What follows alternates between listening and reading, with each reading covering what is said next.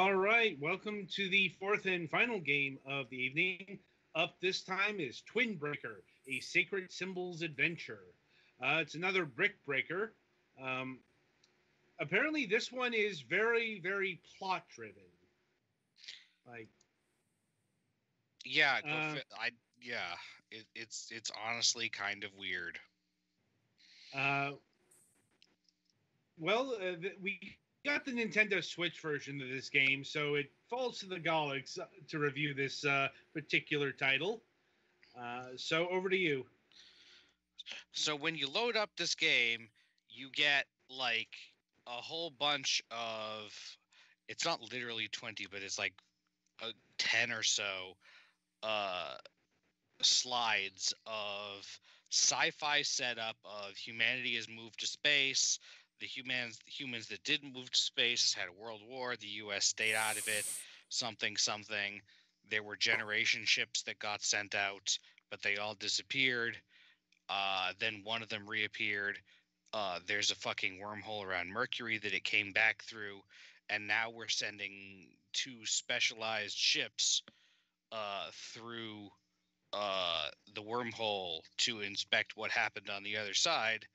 Um, as the setup for why uh, we're doing block breaking, because those two ships are block breaker paddles, and their special weapon is a block breaker ball. Not And that when you get to the. Yeah, and when you get to the other side, uh, there are uh, obstacles and hazards that are surprisingly blocks. So I'll note, not that unusual for this genre. I mean, Arkanoid was a ship-based ball uh, brick breaker, like the yeah, but you don't unlock fucking. Uh, you don't unlock fucking relics of like writing and shit uh, for achieving a certain score in every level of Arkanoid. no, I'd imagine if Arkanoid could have done that back in the day, they might have done that. Consi- all For stage one, yeah, for, for doing stage one, you unlock newspaper odd op-ed. And so, what is the end goal? These so-called generation ships are sending thousands on voluntary suicide missions with vague hopes of finding something out there in the endless void of space, with no hope of returning to Earth, of reuniting with loved ones, of seeing any fruits from their ultimate sacrifice. Why aren't we more concerned about what we're asking these people to do? What is the point? Hmm. So there are 40 levels of the actual game, which are just destroy all bricks, and some of them are boss fights, I imagine. Um, I did not get to the first boss fight because uh, the brick breaking gets hard, but uh, there's also a marathon mode, which is just all of the levels in a row, with uh, or see how far you get. Um, with you have, I think, three hearts to start with, and each time you lose a you lose your last ball on screen because one of the power ups is multi ball. Uh, you lose a heart. Mhm. You can also, if you die or you run out of hearts, you can buy another heart with hundred points from your score, which will you could do that as many points as you have, which will let probably let you complete the levels, but might knock your score down so low that you don't unlock the uh, data logs. There is a hockey mode, which is you versus boss characters without the whole fancy stage setup. There's random mode, which is just uh, random random stage setups that you have to deal with. There's a shooter mode, which is uh, both of your pods have the shooter power up permanently, uh, and there are further shooter power ups that can increase your rate of fire. And it's kind of like a space shooter, except uh, they're blocks that you're that you're uh, shooting. A lot of them are aligned vertically in later stages and in random mode and in shooter mode, which makes them harder to hit. There's catcher mode, which drops the money slash score power up and the enemies, because one of the quote unquote power ups is just a bug shaped enemy that like shrinks your paddle and slows you down for a little while. There's a boss rush mode, which is the actual boss stages in a row. And the achievement room is where you go to look at your newspaper op ed, scientific journal, requisition order from Generation Ship, NASA bioethics study, Message from Catholic Pope Theodore III. Mm. Um, you are initially and for a lot of the game. Well, the, uh, some of what I've gotten has gotten from that I got further in boss rush mode than I did in the other ones, which is that while the first boss you are still con- as previously controlling one paddle on the left side of the screen and one paddle on the right side of the screen because you have two ships, and with your ships you get to choose uh, which ship launches the ball whenever you lose a ball, which is nice. Um, but then the second one is a side-scrolling looking thing. So you only have one pod and it's on the left side of the screen and the boss is on the right. And then the third, and possibly beyond that, uh, you have four paddles, um, which uh, is interesting because um, you only have two sticks, but you control left and right basically uh, with left and right on the sticks or D-pad, I guess. Although uh, on the Switch, the uh, right D-pad is is the buttons, and uh, you do need to hit one of those buttons to launch the ball. So, um, I'm not exactly sure how that works. Um, so yeah, some of the stages are side to side too. Um, so I don't know how that goes through progression in the story. I didn't get past the first zone in the story, so I don't know if it's by zone or if they just start doing weird stuff at a certain point. Um Sorry, I'm playing as I'm talking to to keep it fresh. Um So yeah, that's more or less it. There's a lot of text about your characters figuring like every few stages you'll get text from your characters talking about what they're figuring out or trying to figure out what's going on.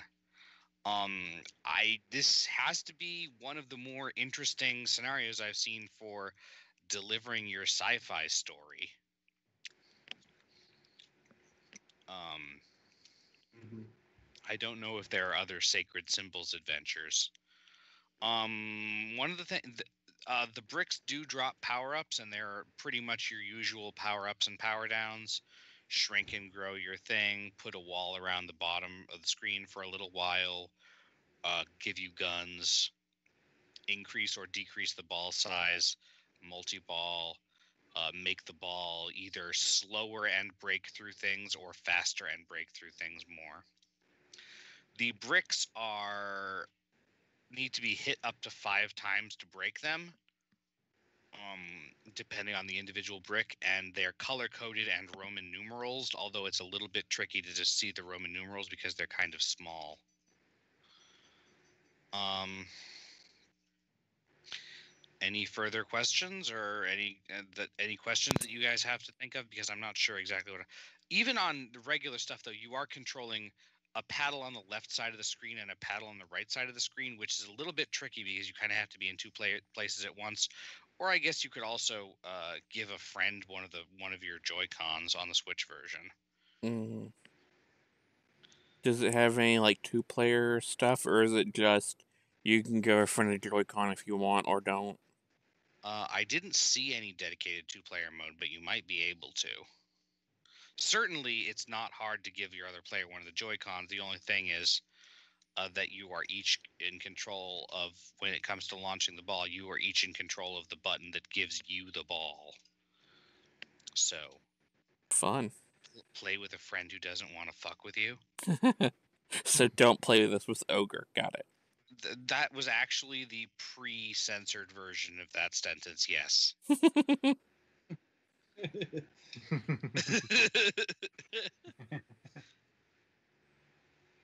Uh, but yeah, it's it's the boss fights are kind of interesting because the boss has a certain number of hit points, and like in hockey mode, you uh, when you break the boss, uh, you can like every time the ball bounces off it, uh, it takes a point of damage, and they just kind of are away for a while in hockey mode, and you can just score points freely. Although you really only have time for one or two points. Um,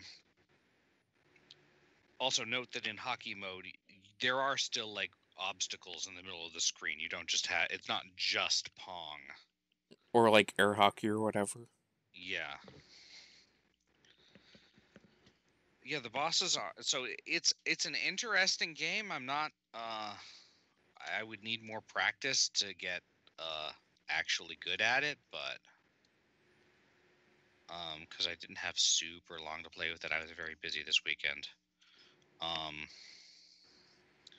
yeah, I mean overall, if that sounds at all appealing to you, I rec- I actually kind of recommend it just as a uh curiosity, if nothing else. Mm-hmm. Um, it's it's tricky to. I mean, even if I knew more of the plot, I wouldn't be telling too much. Oh, you do also have one other power that I fucking keep forgetting about, which is that uh, after you score a certain number of points or rebounds, you can press your shoulder button or the shoulder button on a Joy-Con to send that respective Joy-Con's uh, paddle like not physically shoot it forward, but basically do a version of the fucking laser sword from Zelda, where you shoot an image of it forward that you can that will bounce the ball off of it. Hmm. So you can do that to uh, get the ball to bounce to cause bounces up higher than you can actually get your ball up to. So again, some interesting mechanics for a ball breaker, even aside from or from a block breaker, even aside from the fact that there's uh, a lot of story here, which is still weird. Does this have like actual physics, or is it like the ball rotates like 45 degrees or something whenever it hits something? Uh, I believe it has standard breakout physics, which means that uh, it mostly matters where on the paddle you hit the ball. Hmm. I think. Yeah, Although you don't have to worry about if you are moving the ball velocity side to side, that does give it a little bit more uh, swing in that direction. Hmm. All right. I think that's in it for terms me. of pricing, uh, in terms of pricing, this game clocks in at ten dollars, nine ninety nine across all platforms. hmm That, that's the price. How much? Uh, nine ninety nine, ten dollars. Eh, that's a little higher than I'd probably go for it, but um, if you could get it on sale, it's probably actually a decent deal. And if not, I mean, it's not terrible. Hmm. Okay. Um, anything else on Twin Breaker? Uh, not really. Okay, so uh, that'll about wrap it up for this review session. Uh, the week ahead, I suppose. First off, apologies for last Wednesday. Uh, the episode of last news desk on the left did uh, didn't go out because of well, It technical occurred, but we weren't recording because we're dumb. Well, it, it's more that was Max um, goof. Mhm. Like, Let's be clear. yeah, that, we- that was we've been no- having some trouble with the go live button versus uh, Right. But um, point is, uh, we didn't miss anything because of scheduling. Uh, that was more the technology didn't work. Like, but It's a anyway, shame because so we had a good show and I got a laugh that everybody was had to admit that they laughed at. So Rest in peace, Joe. clearly the you never be- universe is conspiring against me. Yeah, but can never be proven because we don't have uh, recorded evidence anymore. Right. So, you, you, the discerning audience, need to take my word for it. I don't know. Anyway, Golux's kind of sus. Now, now, children. Anyway, um, on Wednesday, November 4th, we will be welcoming uh, Nathan Fouts uh, of Mommy's Best Games. Like, uh, let's see. Uh, they are the development studio uh, and publisher behind the recent uh, game Pig Eat Ball. That is an actual game. But we'll be talking about their latest release, an upgraded version of their shmup, uh, Shoot One Up, called well, uh, Shmoot, uh, Shoot One Up DX, which just released on the Nintendo Switch and is heading to the Xbox One in December. Uh, and we will, by hell or high water, we're having a last news desk on the left show on Wednesday because that's going to be the post-election show. Like, so we're gonna have shit to talk about one way or the other. God, I hope so. Want- I'm like, we just want it to be the one way, and oh God, not the other. Indeed. Minor addendum on Twin Breaker, since I just, as we were talking, managed to get past the 10th stage, which was a boss fight. I can confirm that, yes, as I suspected, there are probably boss fights every 10 stages, and the format changes somewhat every 10 stages. So Okay. the second 10 stages are horizontal, the third 10 stages are going to be uh, four directional. Okay. And I still don't know what the Um, last chunk is. Sorry. I wasn't expecting to make more progress. Right. Um, anyway, uh, no Friday show this week. Uh, um, so that is what we got planned. And hopefully this time the technology will agree. Um, also worth noting, no, we're not doing anything for election day. None of our nerves will be um, all that functional, I Mhm. imagined. Oh God. Anyway, until Wednesday, I shall wish you good gaming.